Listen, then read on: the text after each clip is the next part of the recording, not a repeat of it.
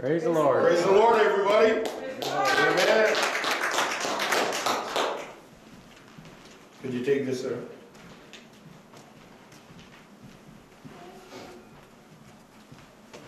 Praise the Lord. I think the battle with my cold has finally come to an end. When it, when, when it breaks, start breaking and you don't feel uh, congested. But this morning I want to talk to you and share with you, as, as the songs inferred this morning, uh, actually from the heart, but I want to talk about the heart of a servant. What does the heart of a servant look like? All right, we're coming into November and we're coming into um, the American Thanksgiving, but we're also coming into uh, Christmas. And so, what does the heart of a servant look like? Because every ministry or the things that we do, and I want us to understand what ministry is. Ministry is not coming to church and standing in this pulpit or coming to church and being a Sunday school teacher or singing solo or singing a choir. I'm not talking about just that type of ministry, but ministry is also our daily duties, the things we do every day, all right, the work that we go to every day, the people that we meet every day. That's ministry.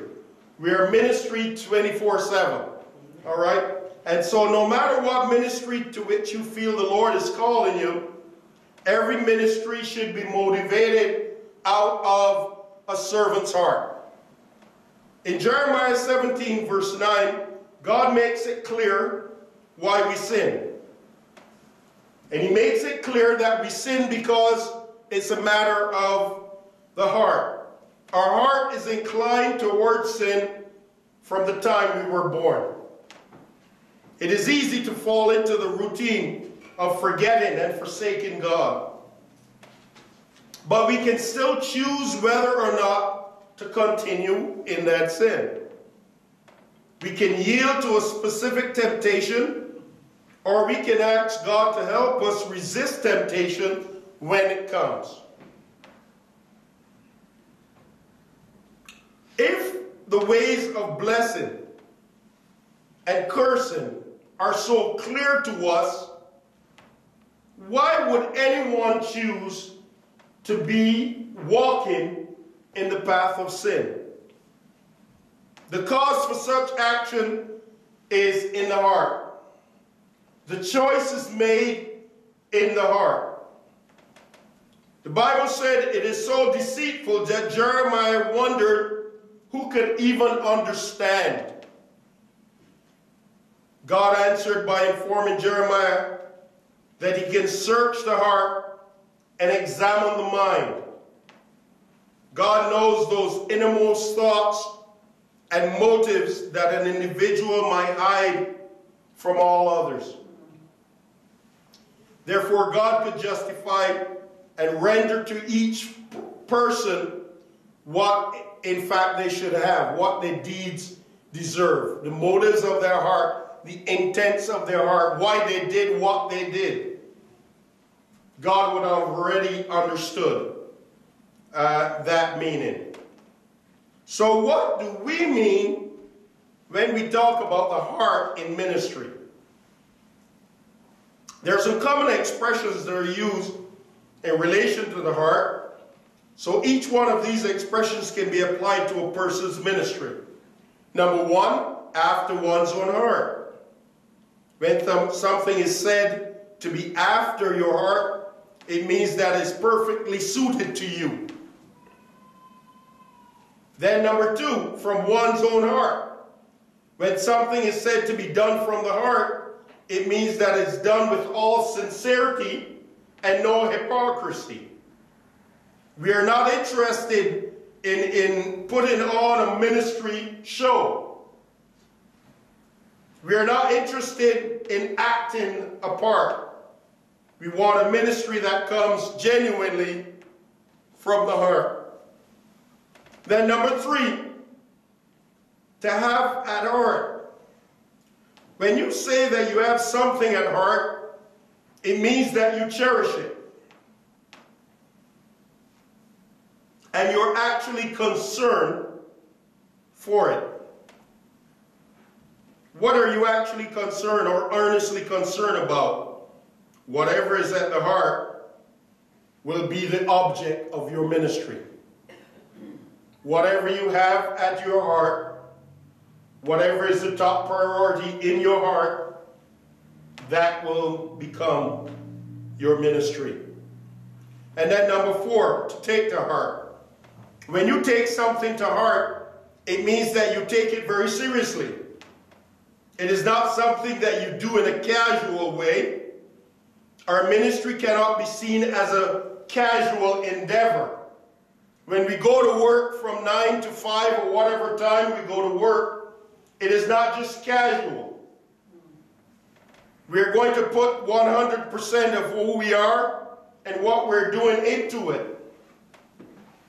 If you put only 50%, then you're going to expect 50% out of it. But many of us don't like the 50% that we get back. And that's because we were only putting half of our heart into it. So our ministry cannot be seen as a casual endeavor. It's very serious. It's like when we get married. It's not just casual. oh, well, we get married. No, we're going to put everything that we have into our marriage. Number five, with all one's heart. Pursuing our ministry cannot be a hobby.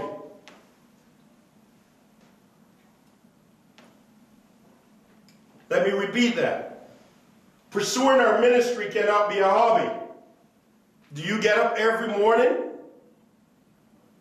and go and do your work like it's a hobby? No, we don't. There's some seriousness to it. There's some substance to it. We're not going because, well, yeah, we get a paycheck. If you're going just for the paycheck, may I recommend to you just stay home. You have to put everything into it in what you're doing. Amen? Amen. Why, when we do something with all our heart, we do it with intensity, thoroughly, completely. We leave nothing open to doing it lightly. Many believers said, well, the Holy Spirit can use us, and he does. I'm not taking anything away from the Holy Spirit using us. But how much do we have to put into it for the Holy Spirit to use us? I think we have to do something. Holy Spirit's using us. What are we doing? Well, I'm going to sit in my chair and just snooze, and the Holy Spirit's going to use me. I don't think so. Okay? I think we have to be active, participant for the Holy Spirit to use us. Matters not if you're driving through Tim Hortons or if you're driving through to pick up lunch, like I did for the past couple of days. Man, I tell you, food in our house cooking just went through out the window. Must be somebody missing. In fact, Pastor Mel said the only reason you're missing me is because the food level hasn't been up. I said, well, that would be one, yeah. He said, I'm going to be happy on Thursday, Wednesday. Food level is going to take a little up. I'm going to get to eat at home again. Now, what are some of the ways that a person can be motivated for ministry? Well, when we talk about our heart, we're speaking about our motives. Because our motives come from there. A motive is something that answers the question, why did you do that? It is the need or the desire that causes a person to act or the intent or reason behind an action. Motives are often based on a particular purpose of or a particular need in the person doing the action. Our motives determine our attitudes, our responses, and our ability to take criticism and handle pressure. If we as believers are not walking by faith, coming from the portion of our heart or the motive of our heart that the Lord has given us, we respond to criticism by want to criticize or throw it back at the person who was criticizing. How does that work? Not very well. Because it governs our commitment level and intensity level rather than a specific activity. I've had to say to many people, if you don't like the job, don't do the job. Why would you go to work and not like what you do? Why? What's the purpose of going to work? The purpose is I'm going to give all that is in my heart to do. I'm not just going to be going to work because I have to go to work because that's the only way that I have food. Well, it tells you what type of table that you're going to have because you're not really doing it in good faith.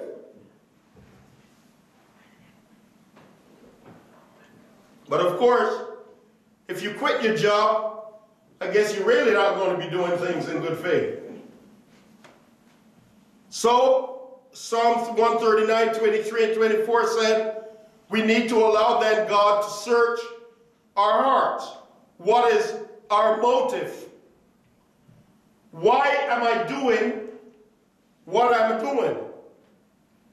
Well, I'm doing it because I'm doing it for Elder LeMay. Or I'm doing it because I'm doing it for the deacon. Or I wanted to see what the pastor would say. That psalm said, David said, Search me, O God, and know my heart. Try me and know my anxieties. And see if there's any wicked way in me, and lead me in the way of everlasting. Well, the Bible says in Philippians, be anxious for nothing. But in everything, by what? Prayer and supplication, make your request be known unto God. Right? And the same God that gave you the request is able to fulfill the desire that you have put back to him. So, David says, Know my heart, try me, know my anxiousness, show me my anxieties. So, God already knows your anxieties, doesn't he? And the same precious God that knows your anxieties, do what? Put you in the same area where those anxieties are the highest. Why does he do that? So you can lean on him. So you can trust him. But until you get to that place,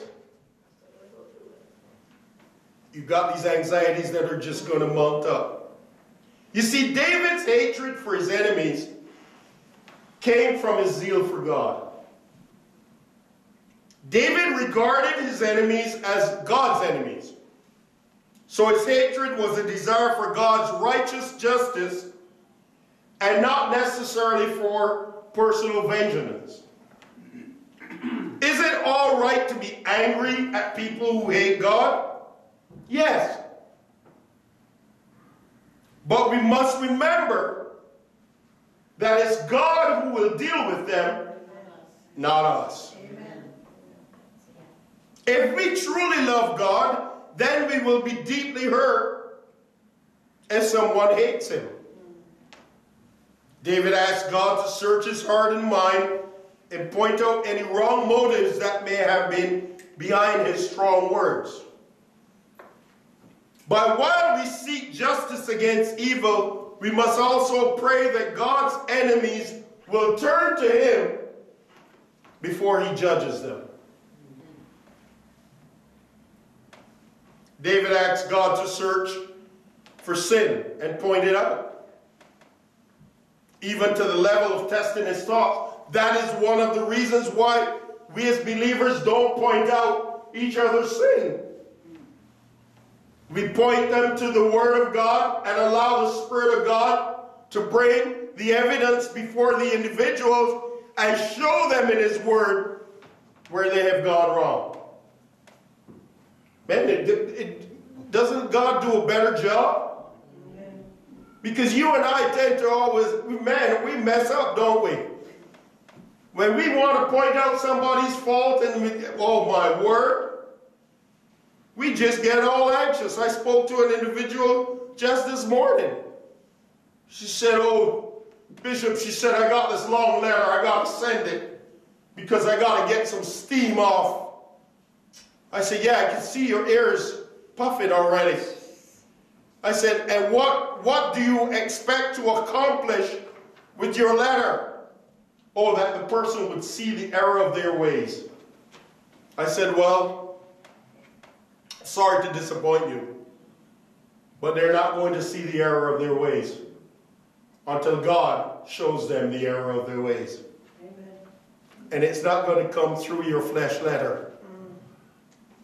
I said to her, I said, ma'am, I said, did you see what the disciples did when they told them not to preach?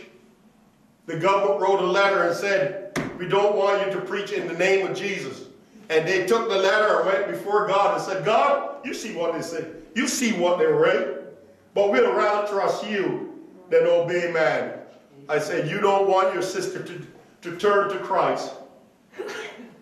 You don't want her to come to Christ and have to put that letter that you sent in the flesh before him. Now you be trouble. And immediately she said, Yep, you're right. I'm glad I could call you and talk to you. I said, Well, I appreciate it being here this morning. All right.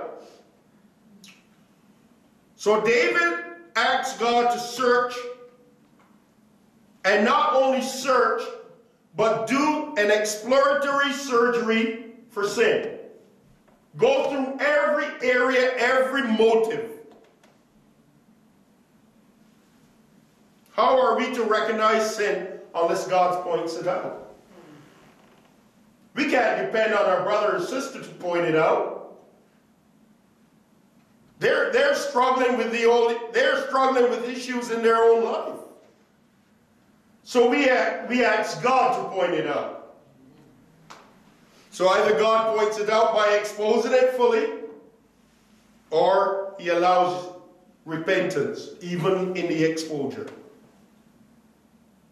So that when God shows us, we can repent and be forgiven. Now, if we were to make this verse our prayer, search us, O God, know our hearts. If you were to ask the Lord to search your hearts and your thoughts to reveal sin, the Bible says you are continuing on the path of everlasting life. A person that could be motivated by selfishness and personal ambition. Let's look at Matthew chapter 6, verse 1 to 6, and allow me to read it, if you please, from the Message Bible. Be especially careful when you are trying to do, be good so that you don't make a performance out of it. It might be a good, it might be good theater, but the God who made you won't be applauded. When you do something for someone else, don't call attention to yourself. Oh my. You've seen them in action. I'm sure, play actors I call them. treated prayer meeting and street corner alike as a stage, acted compassionate as long as someone is watching, played to the crowds. They get applause. Oh, look who they look how they are. True. But that's all they get. When you help someone out, don't think about how it looks. Just do it. Quietly and without fanfare. That is the way God, who conceived us in love, working behind the scenes, helps us out. And when you come before God, don't turn that into a theatrical production either.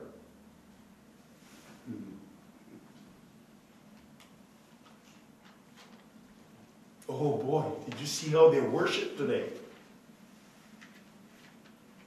Do you think God sits in a box seat? Here's what I want you to do. Find a quiet, secluded place so you won't be tempted to role play before God. Just be there as simple and honest as you can manage, and the focus will shift from you to God and you will begin to sense His grace. End of reading. When speaking of the scribe and Pharisees, Jesus said, But all their works they do to be seen of men. When we go to our jobs, when we go to our workplace, do we do work to be seen of men? Or do we do our work as seen by our Heavenly Father. So that when people see the works that's done, they give glory. I mean, li listen to this. Isn't it a strange action when your employer says, I know that this job is open for you, but please don't apply for it because we like you where we like what you're doing, what you represent to us. When your boss says that about you, it says who's working through you. And he was able to say, but God is going to work through me in this area too as well. That's why that one opened up. Yeah, there you go. Now, the Pharisees loved the chief seats. They loved the titles. They wanted to make sure when they did a charitable deed, they had everybody's attention. Please look at me. I'm about to tell you what I did. Ain't it just wonderful? And the Bible said that's all the praise they get. To please or to impress men. Galatians chapter 1, verse 10. Am I now trying to win the approval of men or of God? Or am I trying to please men? If I were still trying to please men, I would not be a servant of Christ. The servant of God is constantly tempted to compromise in order to attract and please men. Listen to this, folks.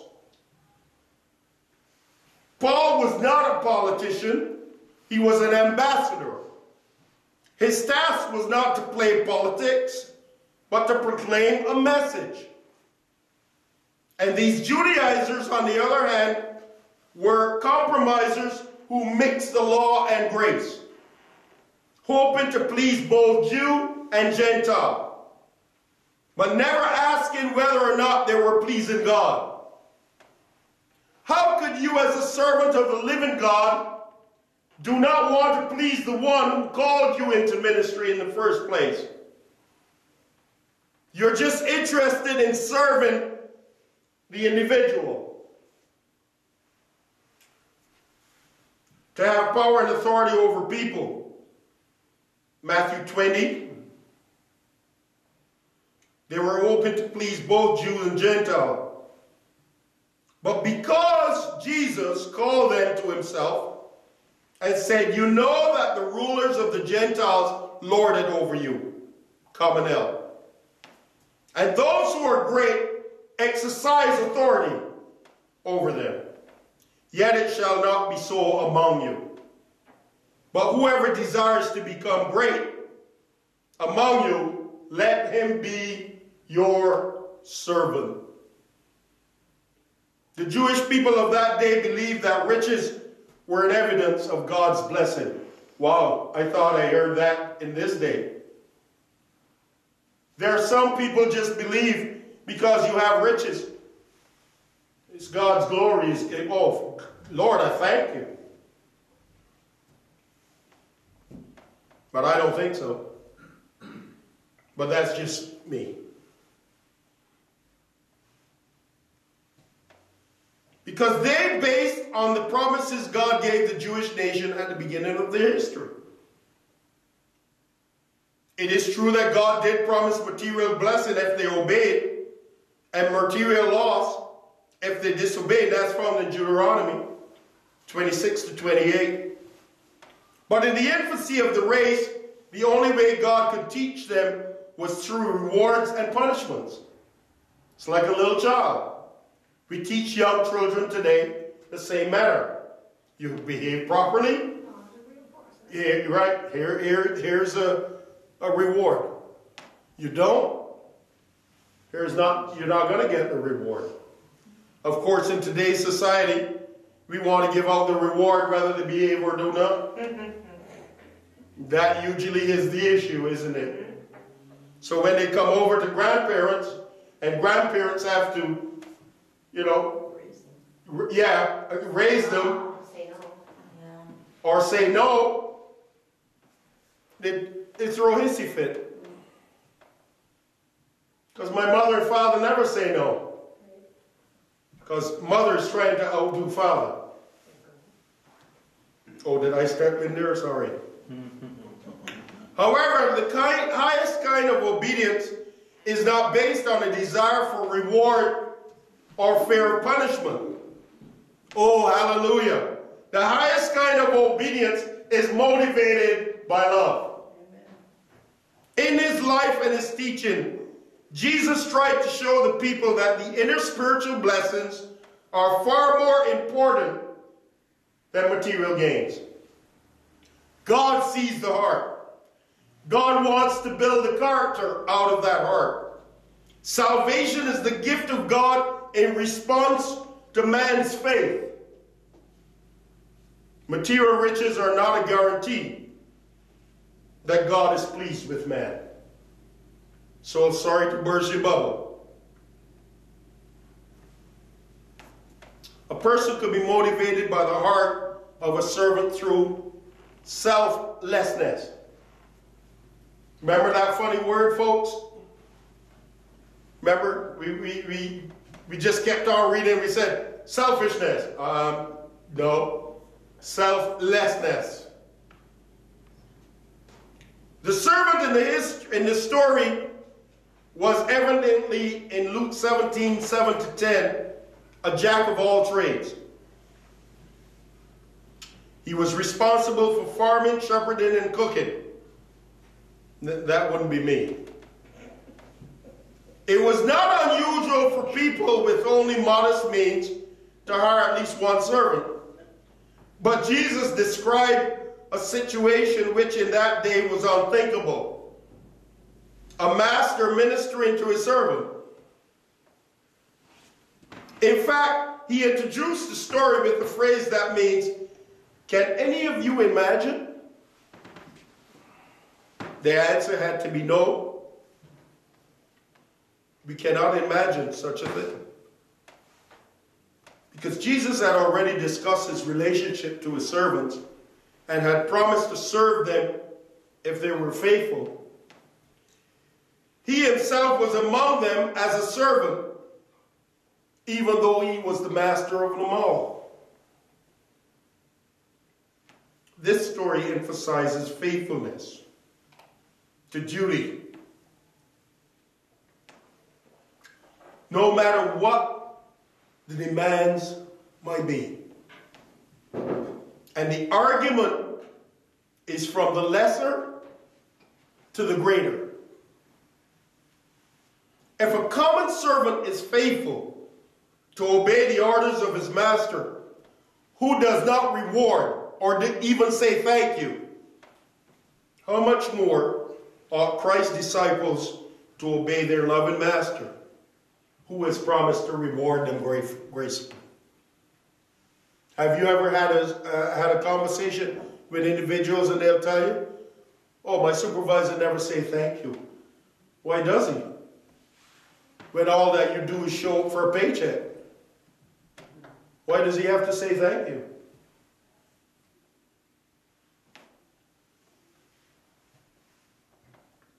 So what then is the proper attitude for Christian service?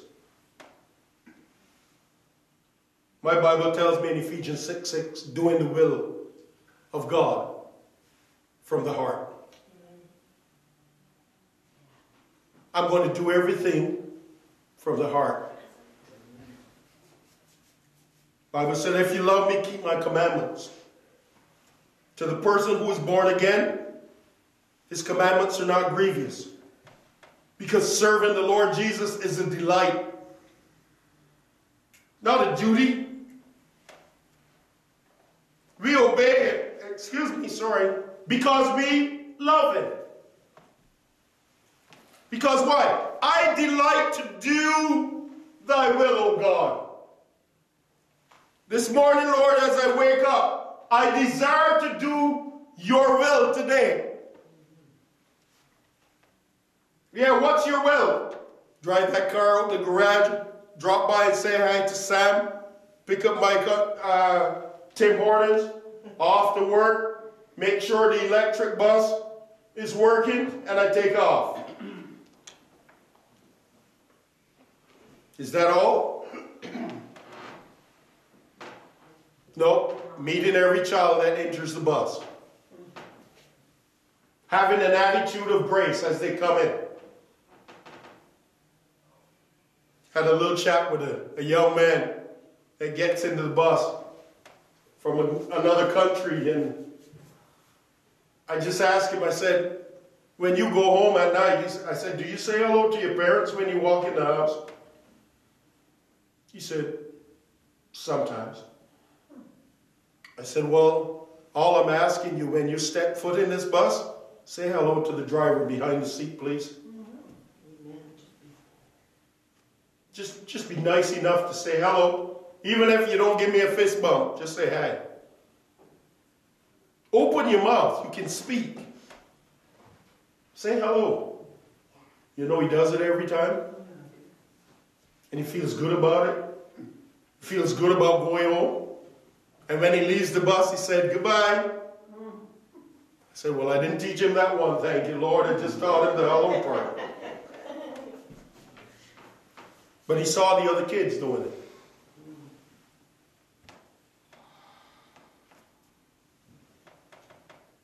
Are we motivated by humility? You know, we expect unsaved individuals to be selfish and grasping. You don't expect it of a believer who has experienced the love of Christ and the fellowship of the Spirit. But more than 20 times in the New Testament, God instructs us of how to live with one another. More than 20 times. We're to prefer one another. We're to edify one another. We're to bear each other's burdens. We should not judge one another, but we're to admonish one another. What does admonish mean? Encourage. Others is the key word in the vocabulary of the Christian who exercise the submissive mind. Then we're motivated by love. Love for God, love for people, loves for God's house. Jesus, others, and you. What does it mean? Joy. And then we're motivated by being faithful. But a servant is constantly being judged. There's always somebody criticizing something that you do. So point, Paul pointed out that there are three judgments in the life of the steward. There's man's judgment. Paul did not get upset, 1 Corinthians chapter 4, sorry. Paul did not get upset when people criticize him, for he knew his master's judgment was far more important. Why do we get all upset and flipped out when somebody criticizes us? Somebody criticizes us and we want to, our backs against the wall and we got to prove what? How much we love them? Well, I love you so much. Here's my fivefold. I don't think so. And then there's the servant's own self judgment. Paul knew nothing that was amiss in his life and ministry, but even that did not excuse him. Sometimes you really don't know yourself until you're in a corner. You don't know where you are at until somebody puts you in a corner up against the wall and you want to come out swinging. So, what's the fine line between a clear conscience and a self righteous attitude? Beware.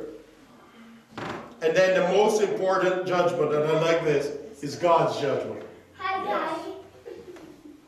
God judges us today through His Word by the ministry of the Spirit.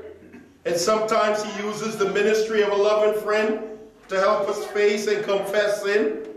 But the main reference here is to the final uh, evaluation when each Christian stands at the judgment seat of Christ. Whatever you do, you do as unto the Lord. So when you stand before Christ and he says, but you did it, but what was your attitude in doing it?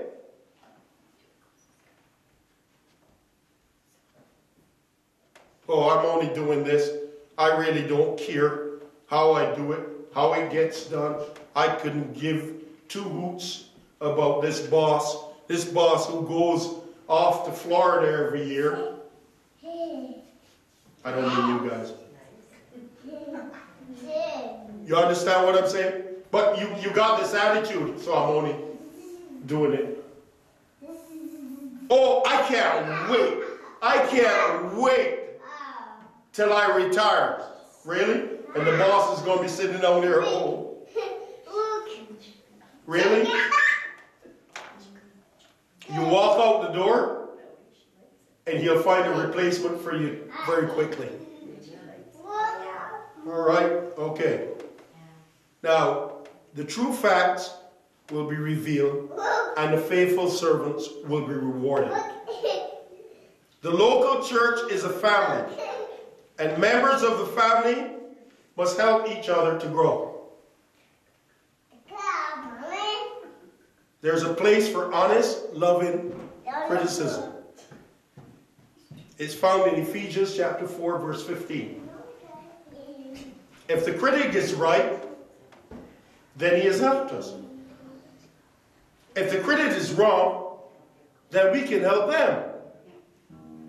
Either way, the truth is strengthened.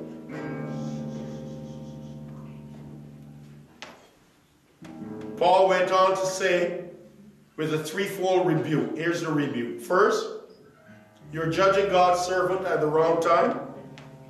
Second, you're judging by the wrong standard. And third, you're judging by the wrong motive. So when we judge each other, by what motive are we judging each other? According to our own or according to God's? I will want to judge according to God's word. Am I right? Yes. Amen. Now, to some people, God has given the ability to rule or to administer various functions of the church, as we do have in this assembly. Whatever gift we have must be dedicated to God and used for the good of the whole body. It's tragic when any one gift is emphasized in a local church beyond all the other gifts. That's why Paul wrote, Are all apostles? Are all prophets? Are all teachers? Are all workers of miracles, gifts of healing? Do all speak with tongues? Do all interpret? The answer to all these questions are no. Sorry, that was bad English. Questions is no. For a Christian to minimize the other gifts while he emphasizes his own gift deny the very purpose for which gifts are given. So we cannot minimize each other's gift. Oh, well, you only do this. Oh, by the way, you are only the usher. And what does that make you? So we don't minimize each other's gift. Spiritual gifts are tools to build with, not toys to play with or weapons to fight with. In the church at Corinth, the believers were tearing down the ministry because they were abusing spiritual gifts. They were using their gift as ends in themselves and not as means towards the end of building up the church. They so emphasized their spiritual gifts that they lost their spiritual graces. They had the gifts of the Spirit, but were lacking in the fruit of the Spirit love, joy, peace, etc.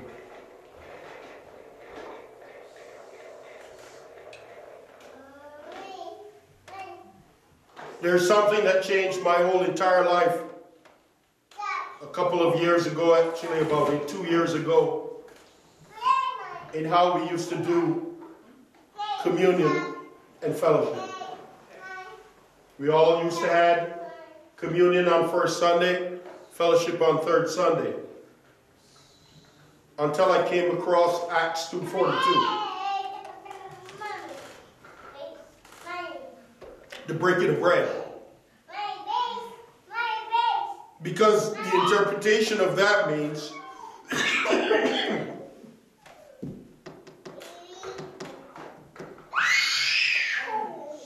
that it was at the close of each meal.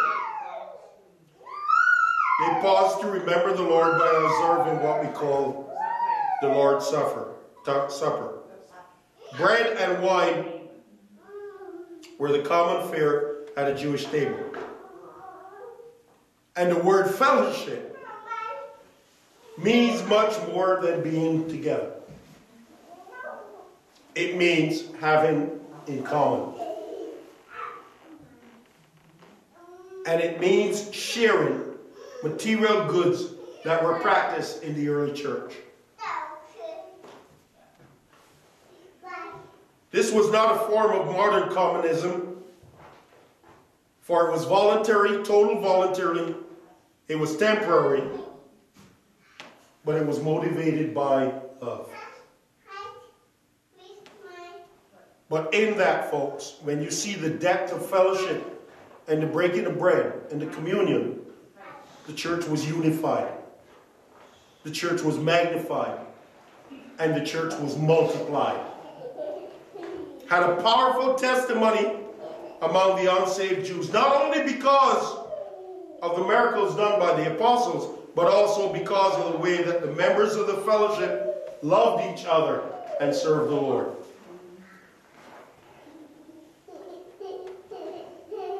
The risen Lord continued to work with them and people continued to be saved. What a church. It didn't say that it all happened in the same place, just as this assembly could be anywhere in the world. Right now, right now taking place anywhere in the world where someone that received good word, a good word from Bethel is applying that word to their ministry somewhere. So I end with this Psalm 51. Create in me a clean heart, O God. Renew a steadfast spirit within me. Do not cast me away from your presence. Do not take your Holy Spirit from me. Restore to me the joy of your salvation and uphold me by your generous spirit. Then I will teach transgressions your ways, and sinners shall be converted to you. Sinners shall be converted to you. How will we teach transgressors? By responding in the same manner? No. By over an abundance of the character that God has given us called love. We close for today. Amen.